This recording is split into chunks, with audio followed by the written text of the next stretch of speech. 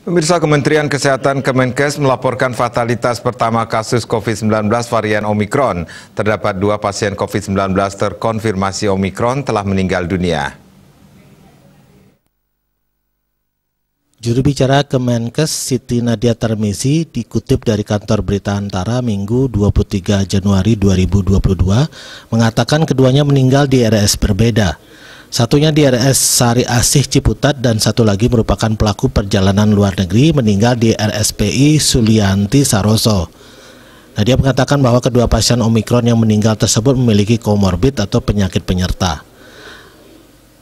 Pada Sabtu pekan lalu, Indonesia memiliki 3.205 kasus baru per 22 Januari 2022, Indonesia memiliki 3.205 kasus baru COVID-19 yang disertai 627 pasien sembuh dan 5 orang meninggal dunia akibat terpapar COVID-19.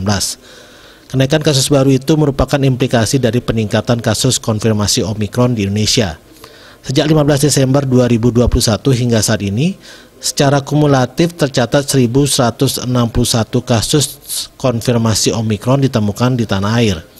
Berbagai upaya telah dilakukan pemerintah mengantisipasi penyebaran Omikron, mulai dari menggencarkan pengujian atau testing, pelacakan, tracing, dan perawatan atau treatment atau 3T terutama di Jawa dan Bali. Pemerintah telah melakukan peningkatan rasio tracing, menjamin ketersediaan ruang isolasi terpusat, menggencarkan akses telemedicine, serta meningkatkan rasio tempat tidur untuk penanganan COVID-19 di rumah sakit.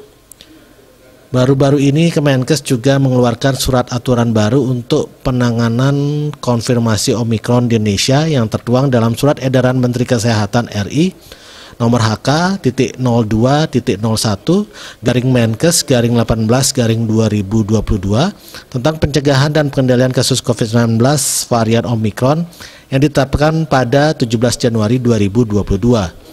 Melalui surat edaran ini, penanganan pasien konfirmasi Omikron sesuai dengan penanganan COVID-19, di mana untuk sedang sampai berat dilakukan perawatan di rumah sakit, sementara tanpa gejala hingga ringan difokuskan untuk isolasi mandiri atau isolasi terpusat. Bali Pos melaporkan.